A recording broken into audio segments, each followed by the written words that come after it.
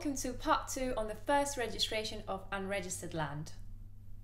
In my previous video, I explained how to investigate title to unregistered land and the scenario we used was the freehold land of the late George One Love Road, subject to a lease of 5 years, which is being transferred by Alan and Bob, the executors, to Mark and Anne, the beneficiaries, who will hold the property as tenants in common in equal shares.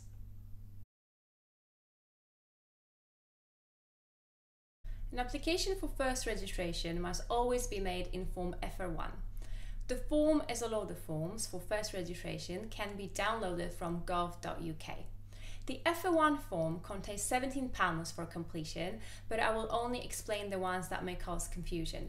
I would like to also add that not all of the panels must be completed and this will most likely depend on the instructions from your client and the title documents.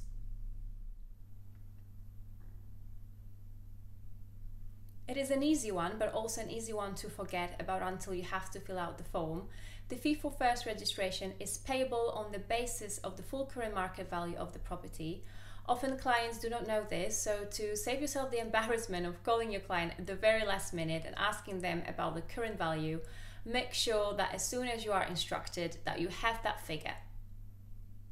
In our scenario, we have the executors assenting the property to the beneficiaries, and the executors will need to give us the figure to calculate the land registry fee.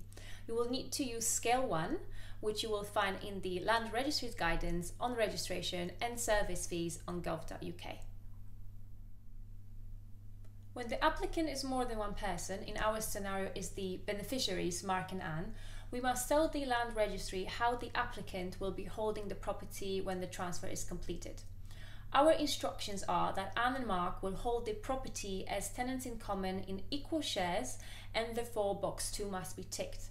Upon registration, the registrar will enter a Form A restriction on the register. The effect of the restriction is that a disposition in future by either Anne or Mark cannot be registered. As we know, disclosable overriding interests are interests to which a property is subject although they are not registered. The full list of disclosable overriding interests can be found in Schedule 1 and 3 of the Land Registration Act 2002. An example of an overriding interest would be the five year lease that One Love Road is subject to. Conveyancers have to disclose overriding interests when making an application for first registration, so using our scenario, the lease would need to be disclosed and therefore panel 11 ticked. Disclosable interests should be disclosed on Form DI if they are not apparent from an examination of title deeds and documents. By way of an example, if we have come across the Love Road lease in our deeds package, there is no need to complete the DI form as a certified copy of this lease will be enclosed with the application. Form FR1 must be accompanied by Form DL in duplicate. Documents that create the chain of ownership must be listed on this form. Conveyancers have the option of lodging first registration applications made up of certified copy deeds and documents. So if you want to lodge certified copies, each of the documents must contain an appropriate certification and the land registry accepts the following three.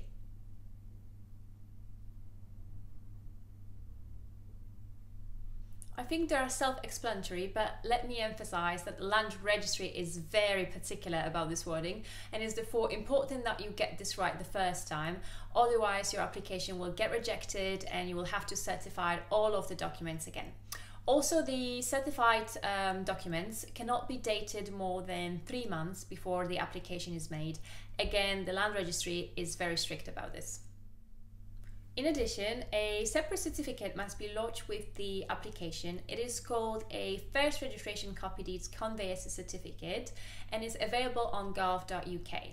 By lodging this certificate, you are certifying to the land registry that your application is made up of certified copy deeds and documents. If this certificate does not accompany your application, the application may be cancelled or rejected by the land registry. Another thing to bear in mind is that any plans accompanying the application must be full-size color copies and must not be reduced in scale or size from the original. So if your photocopying skills are as great as mine, please ask someone competent to help you with uh, photocopying. Also, do not forget to enclose with your application a certified copy of the K17 or K18 form, which I talked about in my previous video. It looks as though I'm losing the natural light, so I'm just going to wrap it up. Um, the last thing I would like to draw your attention to is that when you are dealing with personal representatives, uh, like in our scenario, you must use Form AS1 for an assent of a property from pers personal representatives to beneficiaries. Um, unlike the forms previously mentioned, um, an assent is a transfer of a, a, a property and it needs to be signed and witnessed as any other transfer document.